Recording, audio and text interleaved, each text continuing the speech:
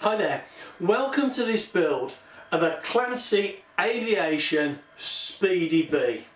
It's got a 40 inch wingspan and it's going to be powered by my lovely OSFS 26 which is a, uh, one of the smallest four stroke engines you can get.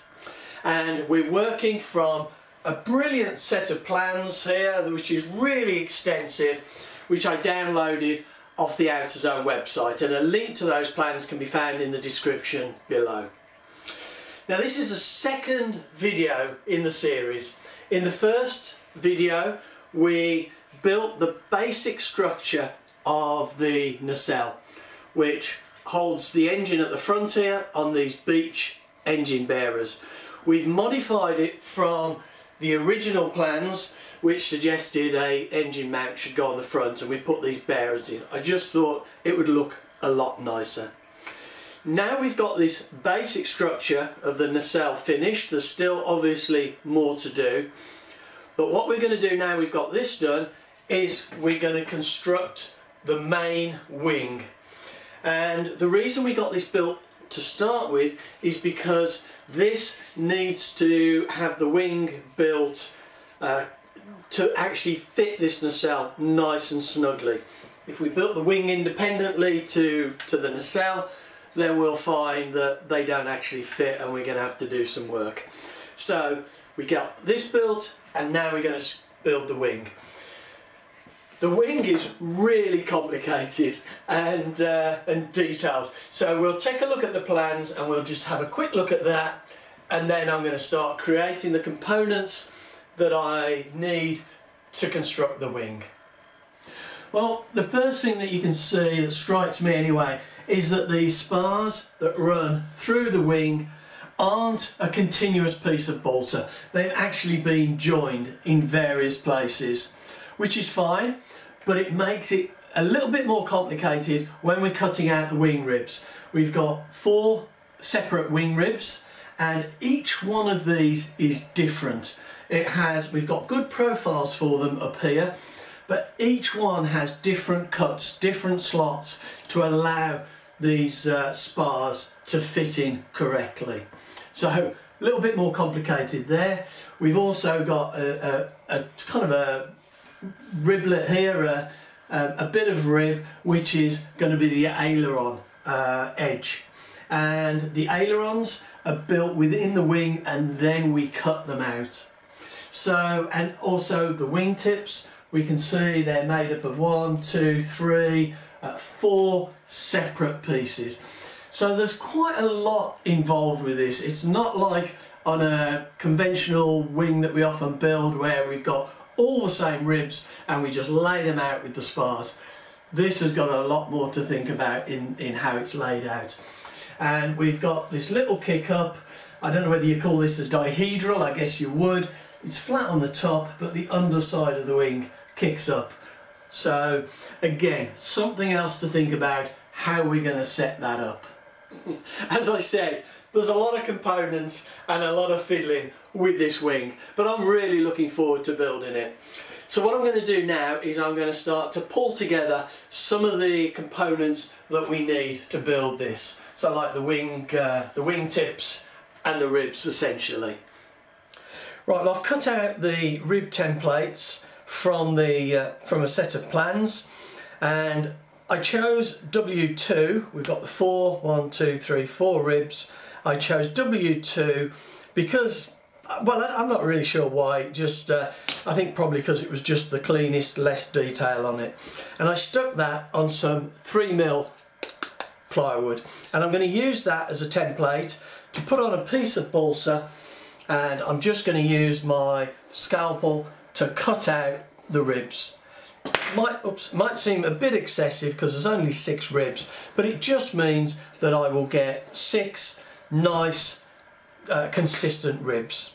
Once I've done that and I've got the balsa ribs, I'm going to go through each one and cut out the individual uh, slots, holes that are needed for those spars. And we'll come back and have a look at that in a minute.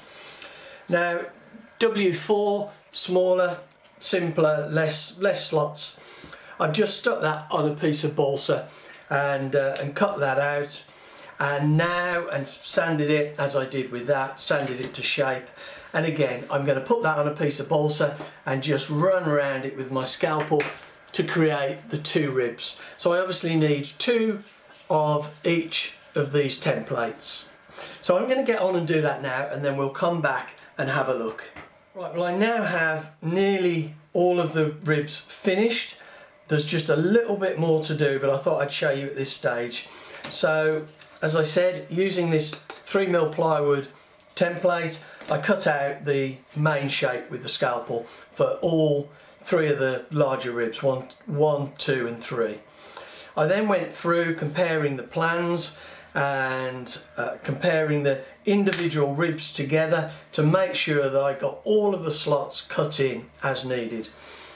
You can see there's a, a set of slots here that I did all together because they run through on the bottom of the wing and uh, again there's some slots that run through here but then there's additional bits that need to be cut out. So it really is a, a I don't like to use the word laborious because actually I quite enjoyed it but it is uh, a detailed um, job that you really need to concentrate on and think about. I did make a mistake on one of them. I, uh, I cut this out wrong and had to glue a bit in but it'll be fine. It's balsa, it's lovely to work with.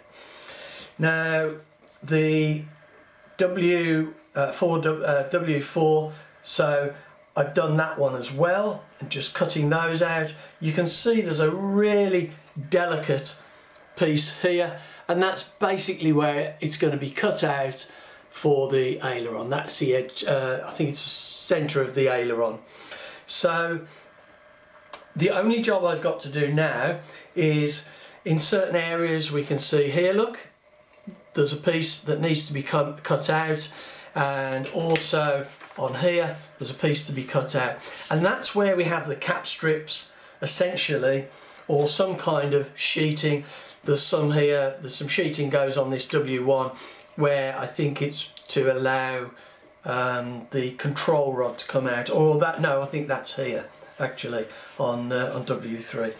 So the way I'm going to just take out these thin slithers is I'm going to, once I've identified where that is on the individual ribs, I'm simply going to put the template just set down by whatever the thickness is, I think it's uh, uh, 116 and then I'm just going to trim that using again this is a template to get the right shape. So I'll just run down my scalpel. So that should be easy enough to do.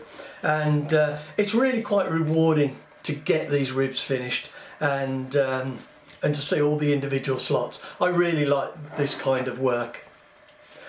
Right so we've got that done the ribs or it's going to be done in a minute once I've cut out that bit for the um, uh, the cap strips. What we've got now to do is to cut out the, um, well we've cut out a template, there's a template here for setting the dihedral, I've just stuck that onto a bit of balsa, cut it out really easy and simply. I've got the wing tips to make, now it's good, indicates the grain on these which is useful because it's uh, imperative for the strength so you don't they don't just snap if you uh, if you come down heavy. So what I've done is I've put on Scotch Blue which is type of uh, Scotch masking tape we can see here. I put that onto the balsa and then I've stuck on the templates. Now we can just see this Scotch Blue just if I just peel a little bit off just comes off really easily. And if the, um, the template is stuck on like this I can cut it out with my scalpel sand it to the line and then it will just peel off because the template is stuck to the Scotch Blue which as you saw came off.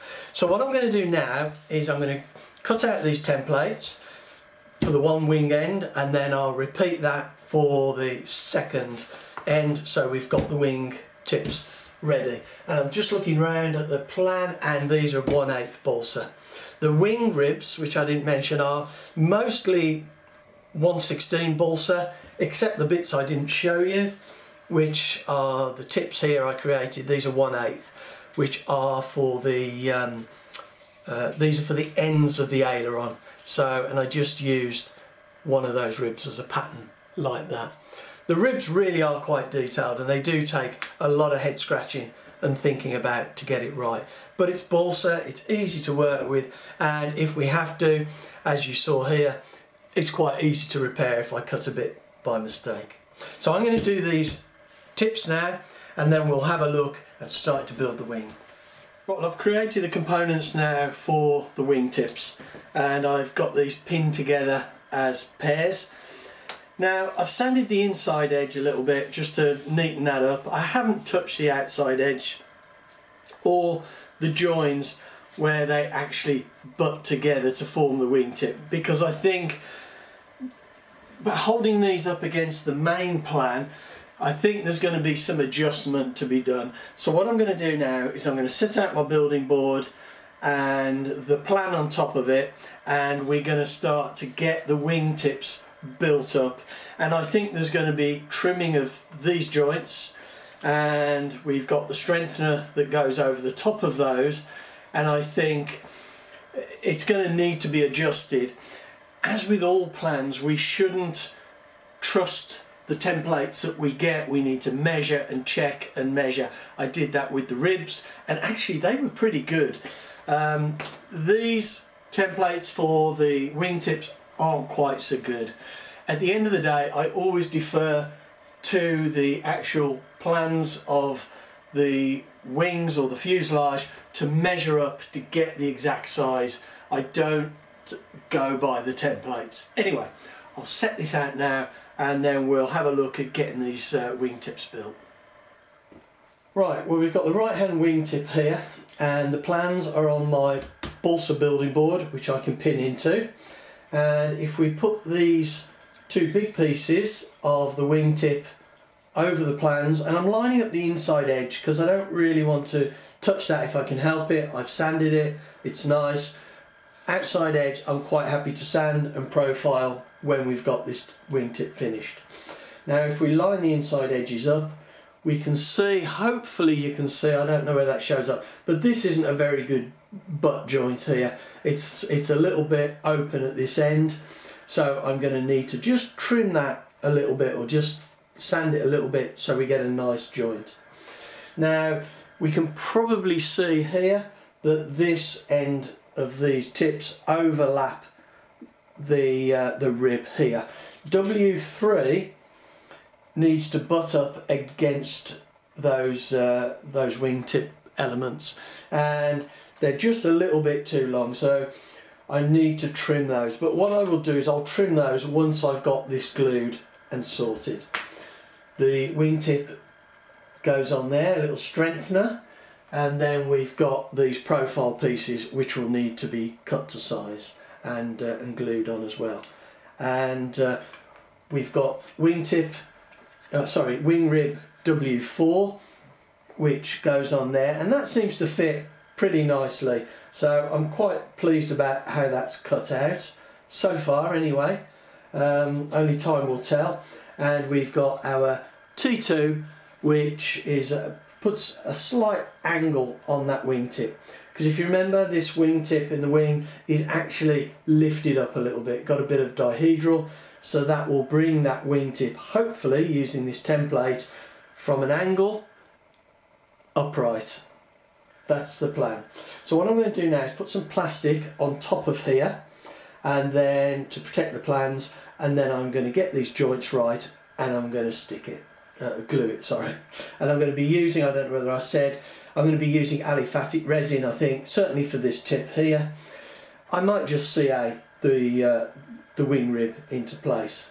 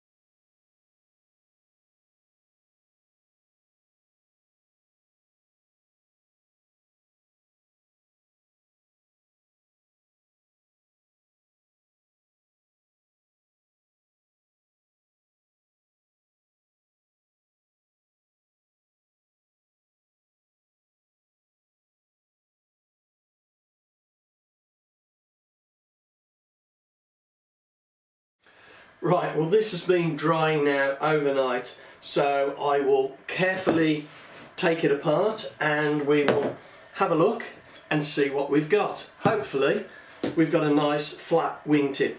Oh and incidentally, I'll just put my glasses on, incidentally this is uh, one of the wingtip pieces with the, um, the paper still on it with that Scotch blue and as I said it just peels off really really nicely to uh, to leave the uh, the component that we need underneath.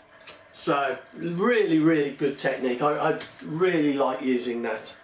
Right now back to this. And uh,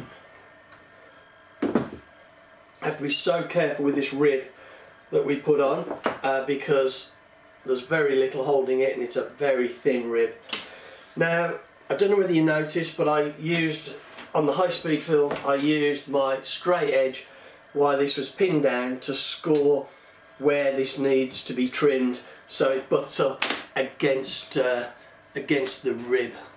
Just put a rib in there. So that where that butts up against the rib there. Now I'll cut that once I've got it off the board. I didn't want to cut it while it was still on the board because um, I didn't want to cut through my plans so here we go. Now let's just see what that's like. I don't know whether I'm going to actually sand this while it's a wingtip or whether I'll wait until um, I've got it um, I've got it actually done on the whole wing itself.